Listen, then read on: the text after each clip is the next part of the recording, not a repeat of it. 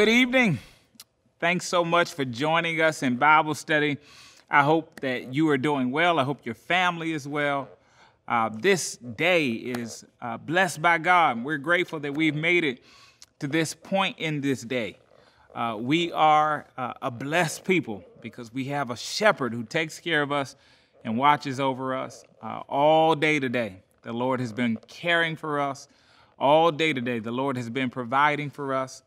And what a privilege it is to be able to come together to study the Word of God, to dig deeply into the Word of God, that our lives may be transformed through the Word. Uh, as I always say, I want to say again tonight the beauty of this season is that you can practice evangelism. You can be a witness just with the click of a button. All you have to do is click uh, on your social media page, share. You can share it right now with all of your friends. Uh, we want you to share it and invite people to join us tonight in Bible study. You never know. Just by sending that invite, somebody may receive exactly what they need from the Lord through this Bible study. And so, will you go ahead and share it right now? If you're watching us on YouTube, we want you to hit that subscribe button. Come on, hit that subscribe button. Uh, you will be up to date on all of the new content that is released on YouTube. You'll get notified. Just hit that subscribe button. Like us on all of our social media pages. God is doing great things here, and we want you to stay informed and be a part of it. Let us pray. Father, we give you thanks and we give you praise for your goodness. Thank you for your mercy. Thank you for your compassion and your grace. Lord, we do love you, and we thank you because our love for you is because you first loved us.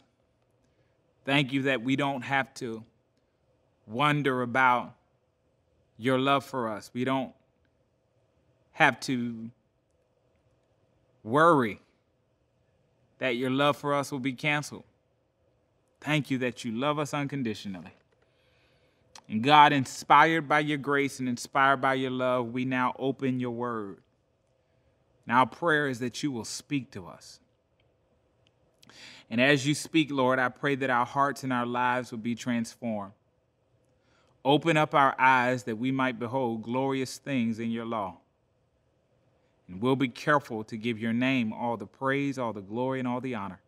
In Jesus' name we pray. Amen. Amen.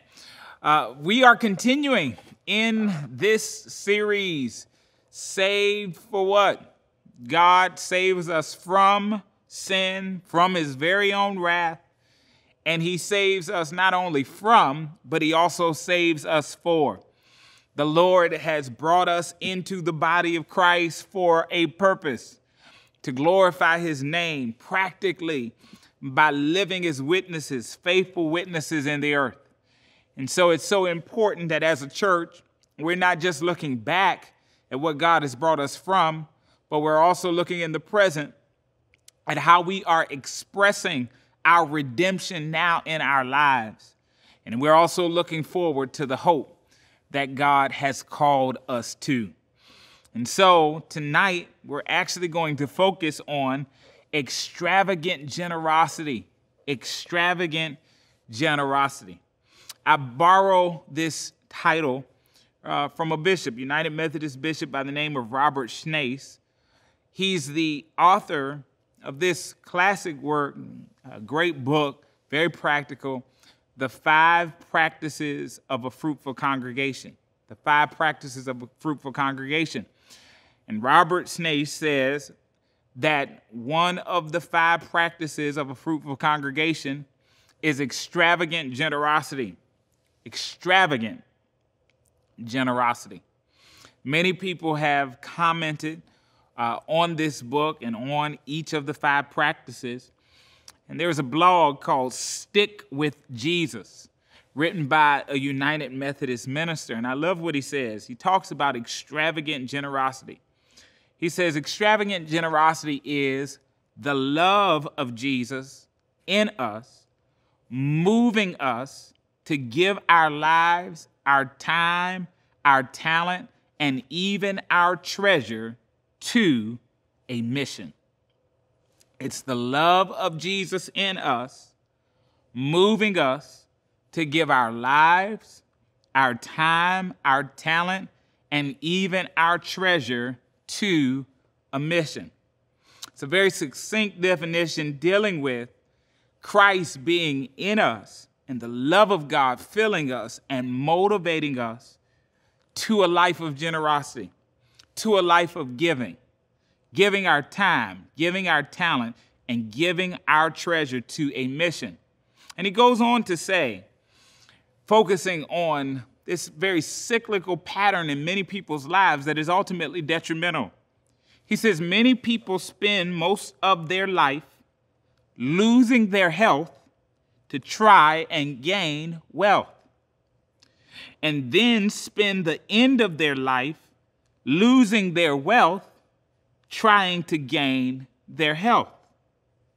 Have we bought into the fear and paranoia of scarcity that the world wants us to cling to? Or are we willing to engage in extravagant generosity?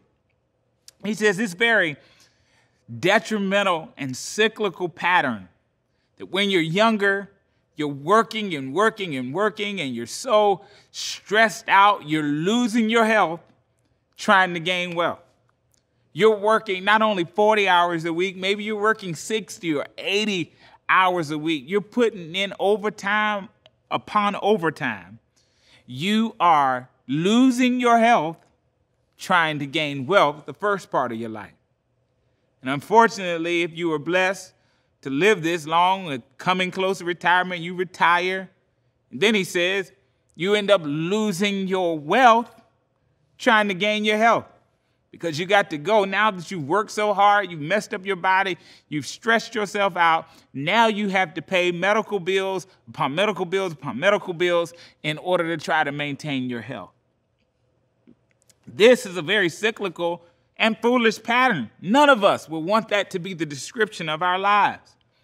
And he says part of the reason for this is because of a paranoia that the world desires us to actually have a paranoia of scarcity, that we're never going to have enough.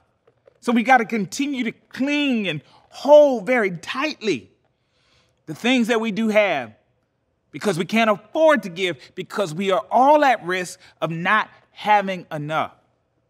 And I know some people say, well, if I just get that six figure job, or if I just multiply these investments and I get this portfolio to a certain amount, I'm going to have enough. And the reality is, even when you get that, you'll still feel like you don't have enough. It's the paranoia of scarcity that the world wants us to cling to. And those who are clinging to this paranoia of scarcity are not willing to engage in extravagant generosity. It's what the Bible describes. The Bible, in, in the Word, we receive uh, scripture that encourages us to do some self examination. And the question that we must ask ourselves is this what profit are you pursuing? What profit are you pursuing? What are you trying to gain? Are you trying to gain the world, treasures, possession, materials, money? Or are you trying to gain your soul, your true life, the true life that God wants you to have? What profit are you pursuing? And this is what Jesus asks. He wants you to us to reflect upon in Mark chapter 8, verse 36. He says, For what does it profit a man to gain the whole world and forfeit his soul. What does it profit a person to have all of the material possessions of the world and still have no peace? What does it profit a person to have a bank account full of money and still in misery? Well, what does it profit a person to have a portfolio filled with wonderful investments, interest, and everything is going up? The earnings are going up. And yet, you don't have the peace that is provided by the promises of God. What does it profit a person to gain the whole world and lose their soul? And so the question that we must ask is what profit are we pursuing? And here's what I believe the generous life protects us from the greatest forfeiture ever. The generous life protects us from the greatest forfeiture ever, and the greatest forfeiture ever is losing your soul, losing eternity, losing life, trying to find or gain life. This is what Jesus says in, in Mark chapter 8, verse 35, which is the verse right before the one we just read. For whoever would save his life will lose it. But whoever loses his life for my sake and the gospel's sake will save it. He's saying that in pursuing Jesus, in pursuing after the things of God, it might require releasing some of the things of the world. It, it requires uh, coming to a point where we are not so attached to the materials and the possessions of this world because we are pursuing after God. It's what Paul talks about when he says, These things I consider lost that I might gain Christ. I'm, I'm leaving some things behind, renouncing some things that I might gain the righteous one. So the generous life protects us from the greatest forfeiture ever we see this, and I've shared this story sermonically before about monkeys in the monkey trap. Monkeys are fast, they're agile. It's, it's near impossible to catch them.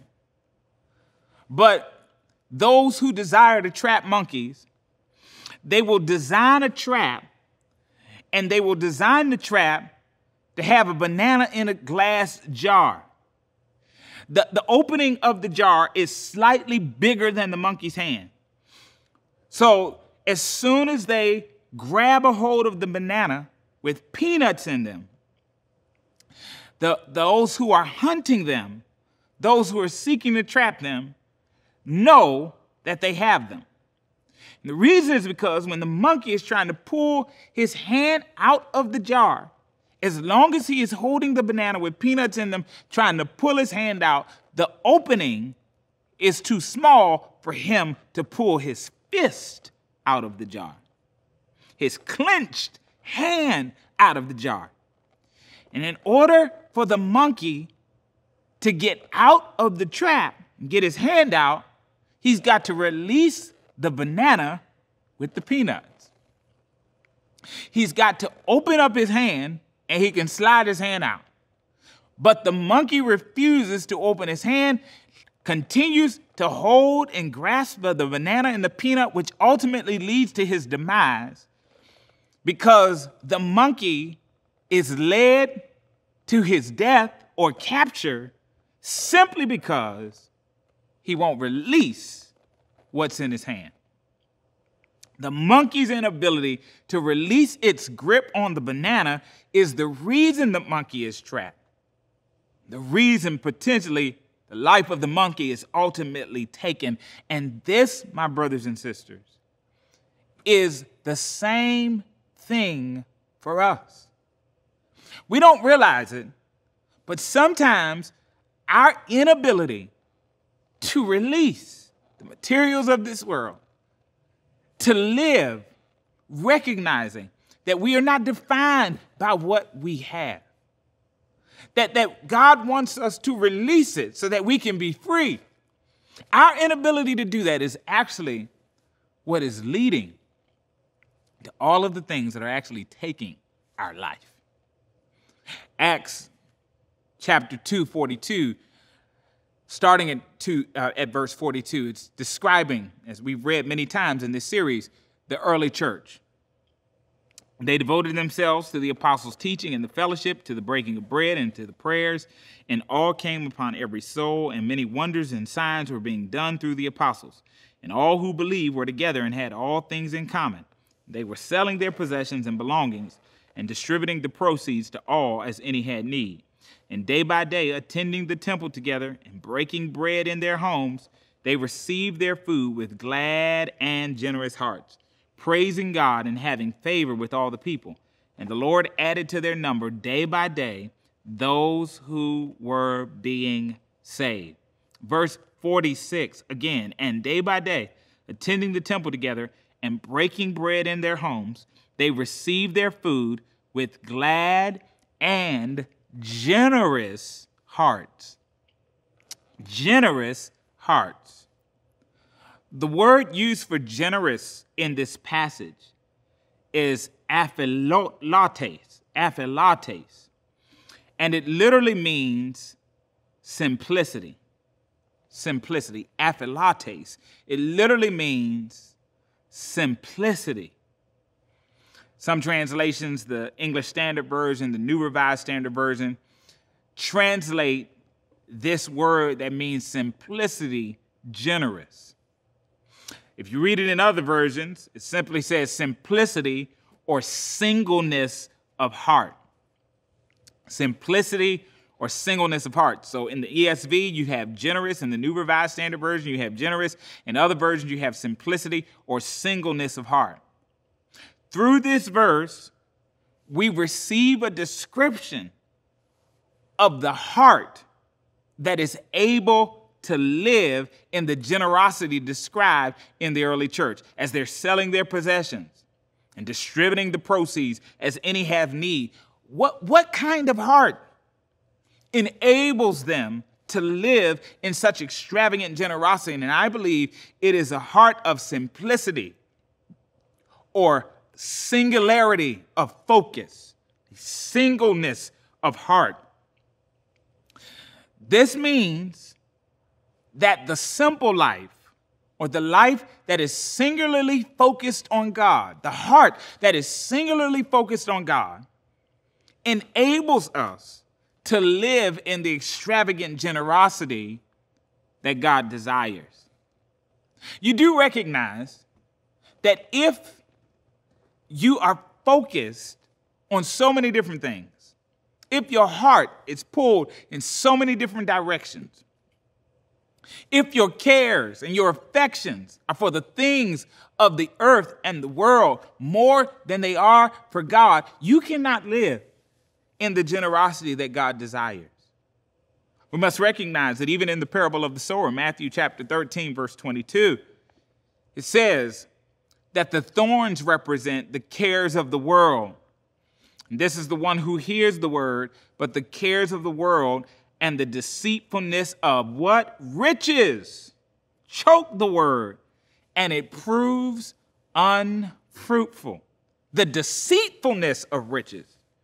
That's connected to what we talked about how you can lose your life trying to find your life. The deceitfulness of riches says that if you have this, you're going to be happy, you're going to have joy, you're going to have peace, you're going to have life.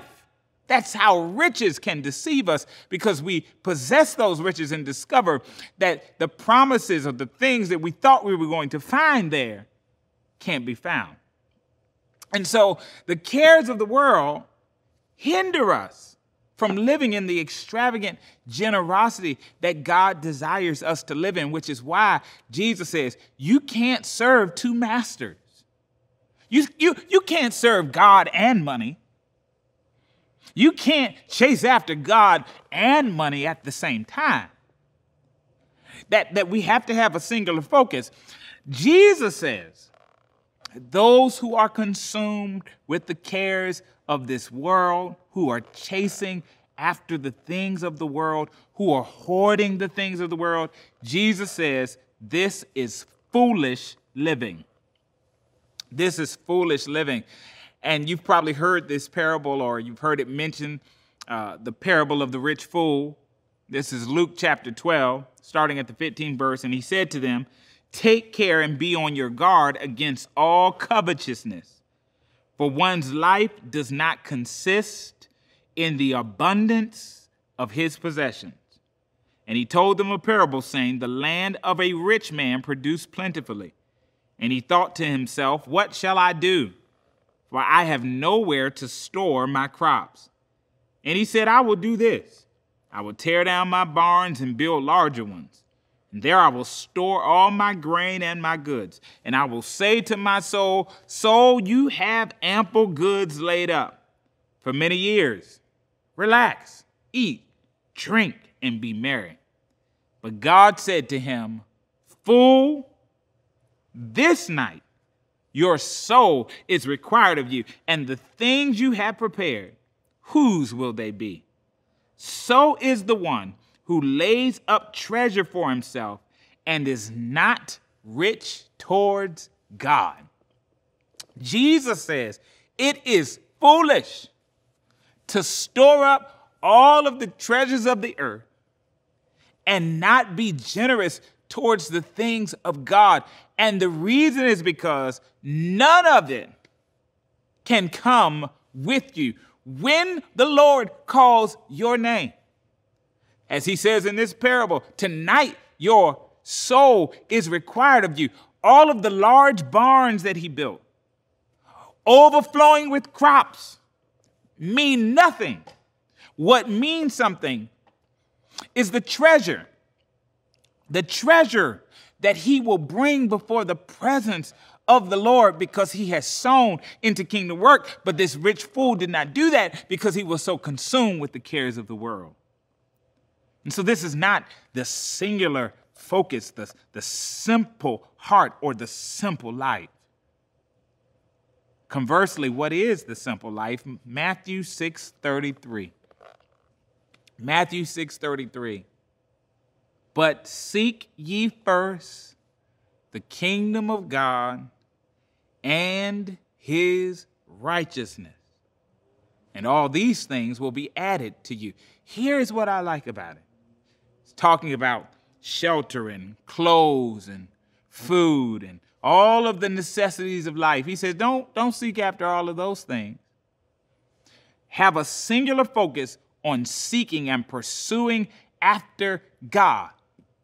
And as you focus on God, as you put your attention all on God, he says everything else is just an added benefit.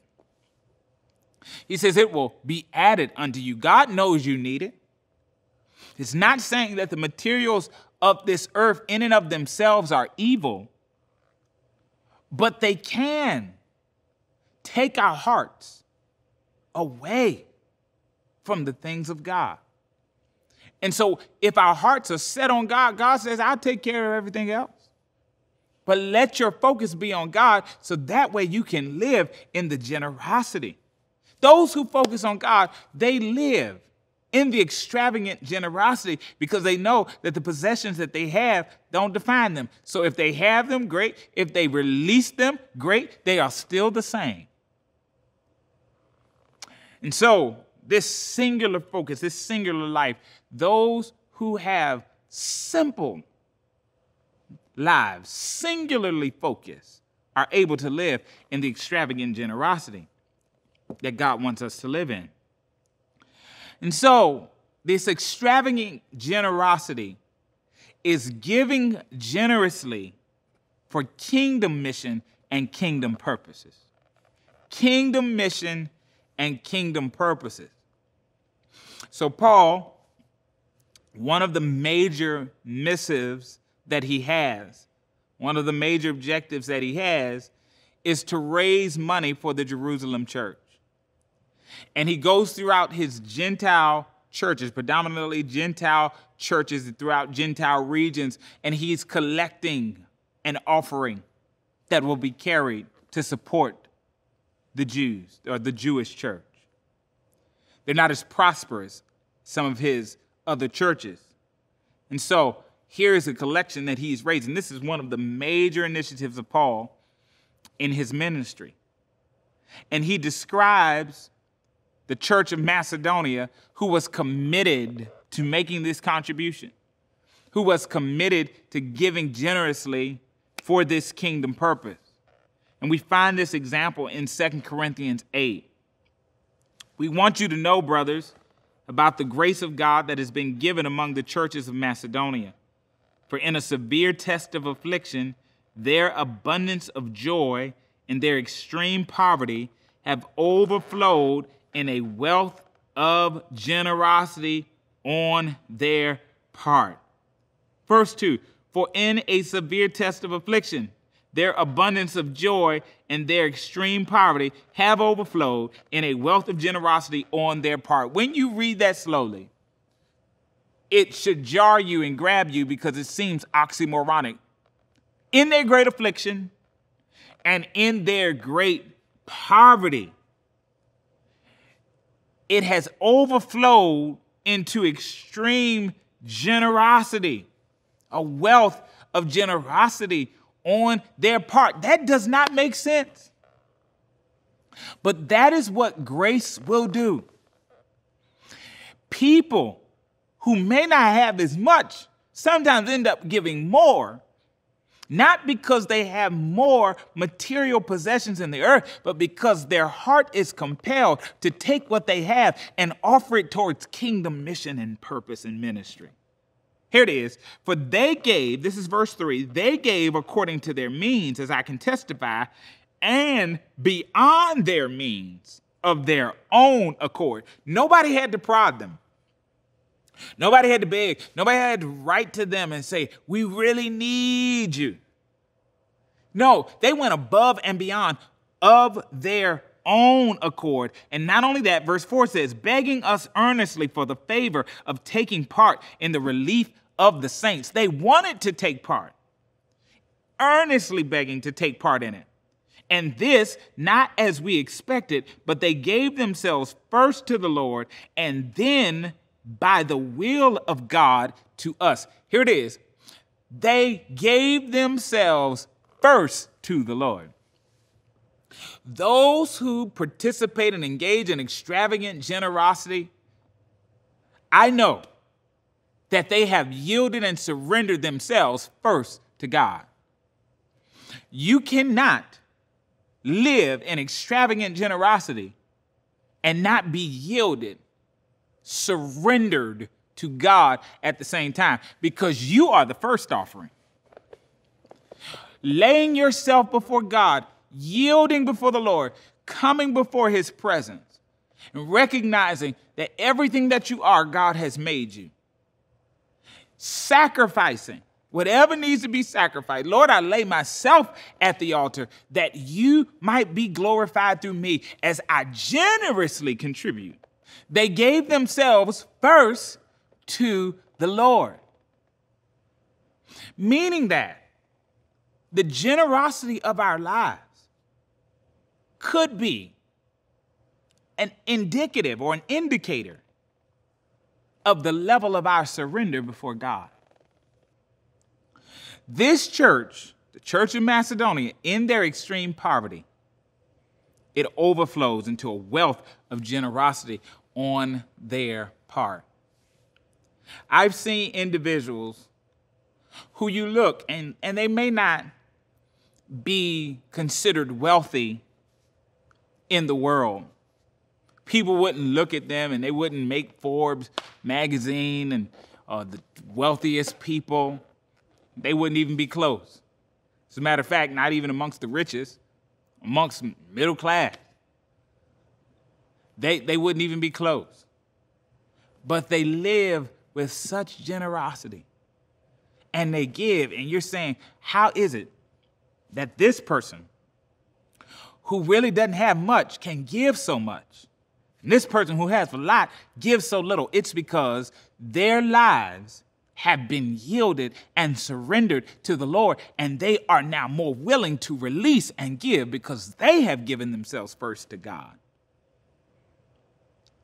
And so we should seek to excel in extravagant generosity. This is the same chapter dealing with the same people, Second Corinthians 8 7. Here it is. But as you excel in everything, in faith, in speech, in knowledge, in all earnestness, I say this not as a command, but to prove by the earnestness of others that your love is genuine. For you know the grace of our Lord Jesus Christ, that though he was rich, yet for your sake he became poor, so that you by his poverty might become rich. Seek to excel in extravagant generosity as you excel in everything else in faith, in speech, in knowledge, and in all earnestness.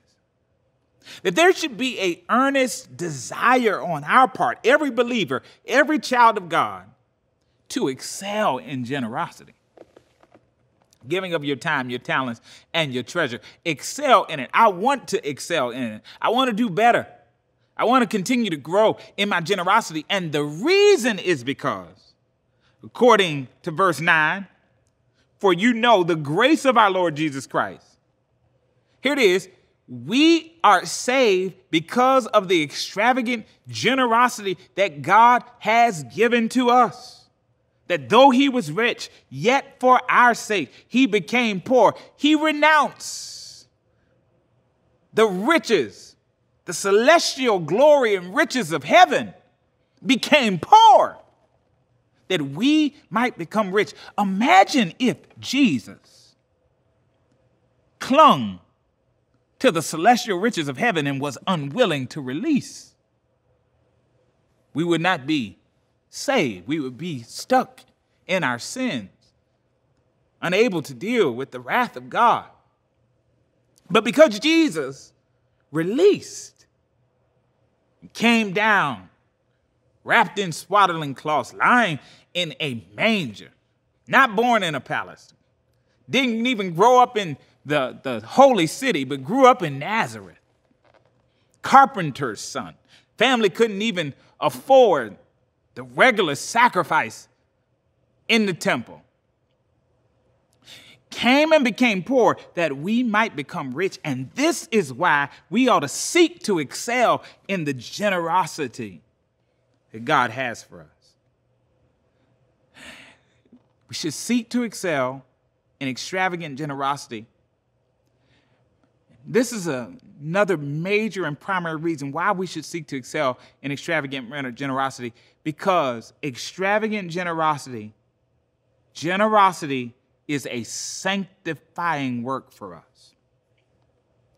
It's a sanctifying work.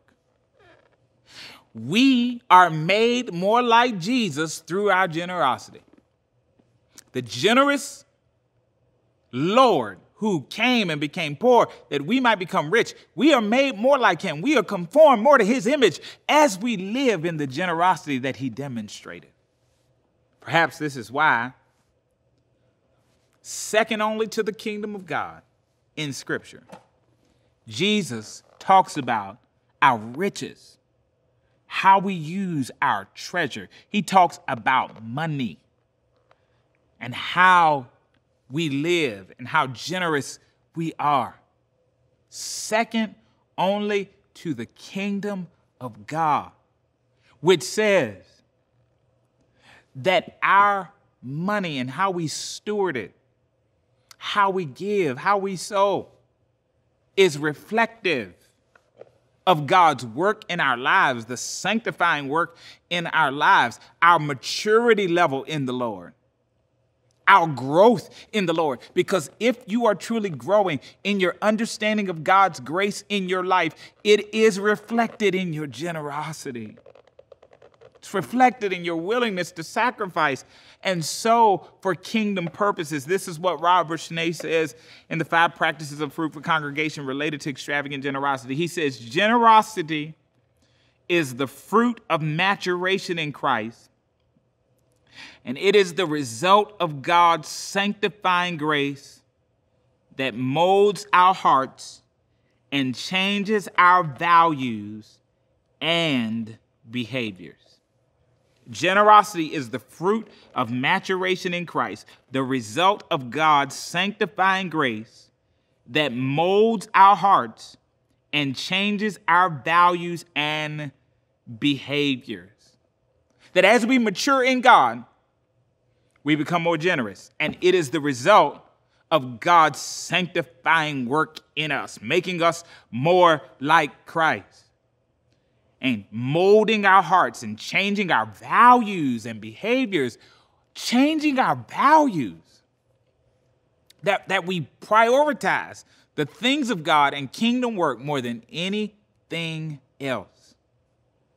I think one company that demonstrates this, dealing with values and kingdom work and honoring God through the Sabbath, Chick fil A. Chick fil A. You ever tried to go there on a Sunday? Closed. You can't go and get that great chicken sandwich on Sunday. All the Chick fil A's are closed honoring the Sabbath. While every other fast food place, McDonald's, open, Cookout, open, all these different places, open, Smithfield, open, Sunday, open. But Chick fil A says we're, we're, we're closed. But you know one thing I noticed? When I look, and there's a McDonald's not too far from my house, a McDonald's right across the street from a Chick fil A, and I look at the lines, Chick fil A's line is always around the corner, Monday through Saturday. And God blesses Chick fil A because of their commitment to put God first. Isn't that, isn't that amazing? That God can do more for you as you honor him in six days than some do in seven. That's, that's, the, that's the, the value system. What is it that you value and how are your values reflected in your stewardship of your finances. Uh, pastors say, and I've heard sage uh, Christians say, that if you really want to know what someone values, you need to look at their checkbook or their bank account. And that will tell you every time exactly where people are putting their priorities. Your bank account, your checkbook, which is what Jesus knew, which is why he talks about the treasures in our lives. Now, I know the big question, closing tithing versus grace giving. The tithe, the tenth, 10% versus grace giving. We're under grace. Do we have to tithe? Grace, uh, the tithe was under the law. Now we're not under the law, we're under grace. Should we continue to tithe? I think it's important that as we look at the 10%, I see the 10% as a biblical principle, a biblical principle of stewardship.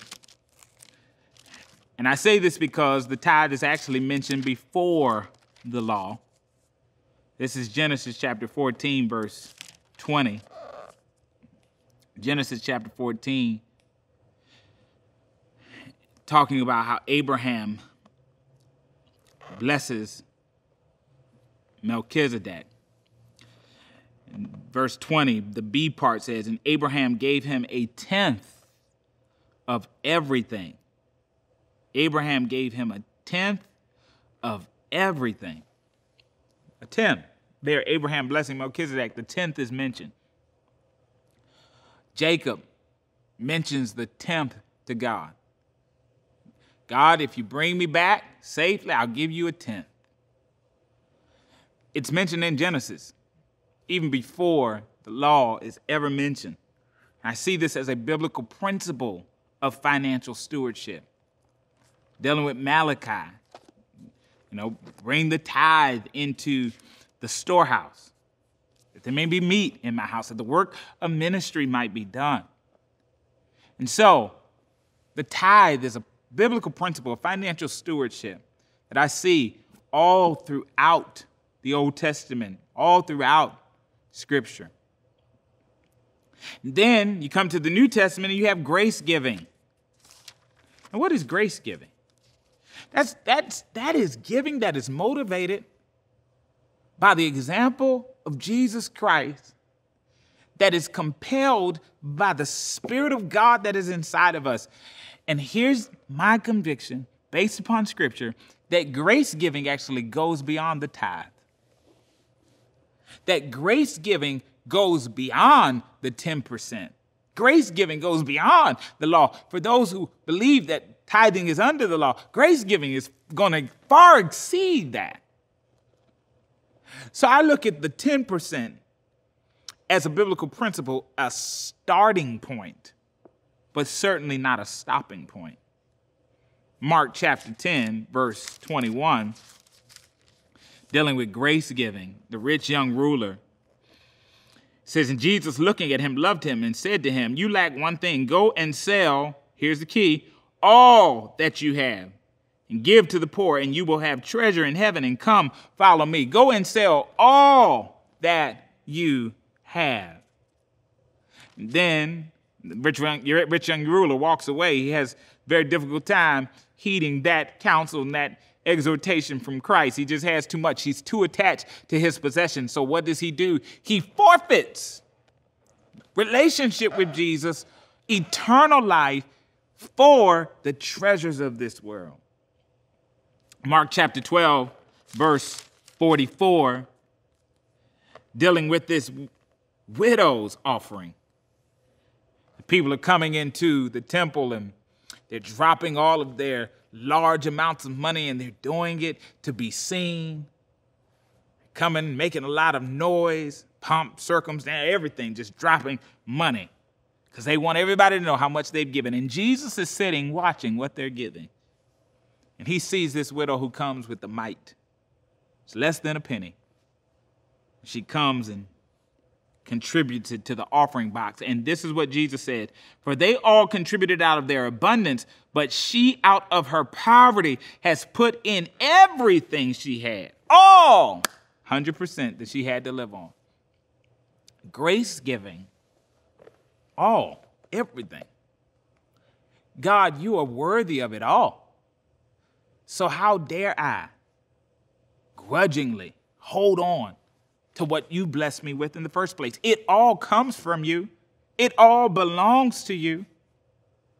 Grace giving says everything belongs to you. The earth is yours, the fullness thereof, and they that dwell therein. And so, God, because you sacrificed it all for me, I'm willing to lay it all down for you. Grace giving is the bar that lets us know that no matter how generous we may be, no matter how extravagant we may be in our generation, generosity, we haven't given everything. So there's always room for growth. The tithe is the starting point, grace giving is the standard, and all of us are somewhere in between or should be somewhere in between.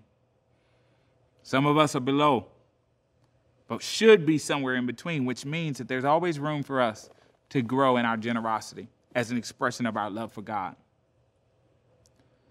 So, what does this mean practically for us as believers who are saved by the generosity of God? It means we should pray about our generosity. We should pray about our giving we should really pray and go before God and confess. Confess covetousness. Confess when we cling to the possessions of this world and we believe that our lives are found in them. Confess it. Confess it. Confess it. Confess it.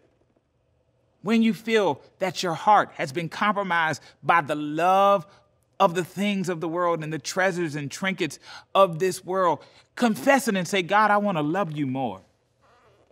And I want my love for you to be reflected in my generosity towards you. God, I want to submit and sow to kingdom work. So, Lord, I surrender to you first because I know that if you have me, you also have what's in my hands. Pray about your giving, plan your giving. This is 1 Corinthians chapter 16, verse 2. 1 Corinthians chapter 16, verse 2. On the first day of every week, each of you is to put something aside and store it up as he may prosper, so prosper, so that there will be no collecting when I come. Don't let your giving just be random and arbitrary and last minute. No, extravagant generosity requires planning and preparation and discipline and budgeting. It requires planning and setting aside.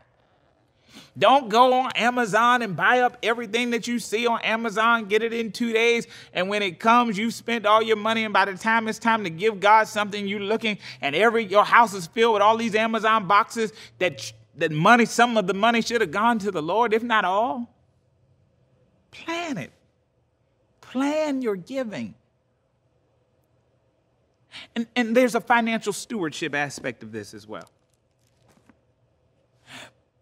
Because we have not been saved from the debt of sin to be indebted up to our necks and can't do anything else because we have not demonstrated the virtue of patience.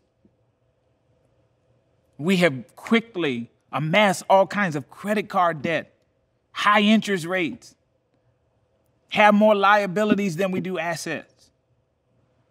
We can't, we cannot expect to live in the extravagant generosity that God wants us to live in if we are also not being good stewards holistically over the resources that God has blessed us with. And so the desire is to make sure and ensure that we are living fiscally responsible. It's a part of planning. And then maybe you are giving, giving the 10%, or you're giving above, you're giving 15%, 20%. Leave a legacy. Leave a legacy. Robert Schnase tells a story in, in Five Practices of a Fruitful Congregation. Says there was a baptism, and a grandfather was holding a baby. And he made the remark, That's, This is not my baby. And gave him the wrong baby. This is not my baby. It's not my grandchild.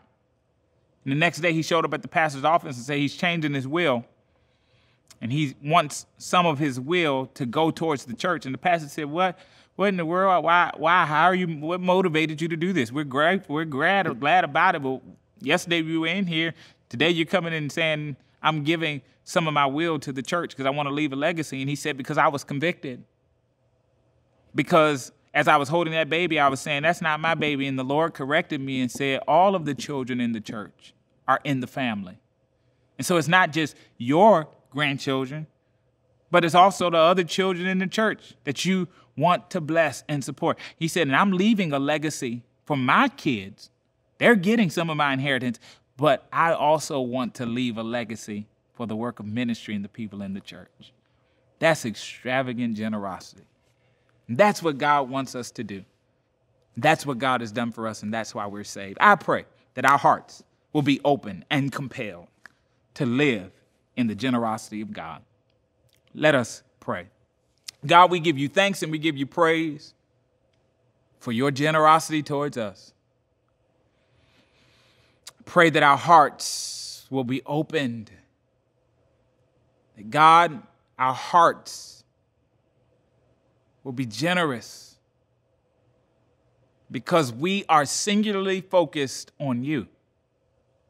We are pursuing after your glory, pursuing after your will, and not finding our lives in anything or anyone else because we know that our lives are found in Jesus. Thank you for this great privilege to live in the freedom that you have provided. Thank you for the privilege and the grace that you have shown towards us, and in gratitude, in joy, we give generously to the work of ministry and mission. We know that you have saved us for this purpose. One of the reasons why you have saved us is that we might live extravagantly generous. So we love you, God, and we honor you. We worship you for this great privilege that we have. In Jesus' name we pray. And all the people of God say, Amen. Again, we encourage you to share this. The good thing is, this is a recording. If you're watching on Facebook, uh, you can share it with someone else. It will be stored and saved. Share it uh, to encourage someone in their faith. If you're watching on YouTube, hit that subscribe button. Can't wait to see you in the sanctuary, embodied very soon. We thank God for this virtual worship experience and virtual Bible study. I pray that your families are blessed. God bless you and keep you, make his face to shine upon you and be gracious to you. The Lord lift up the light of his countenance upon you and give you his peace. God bless you.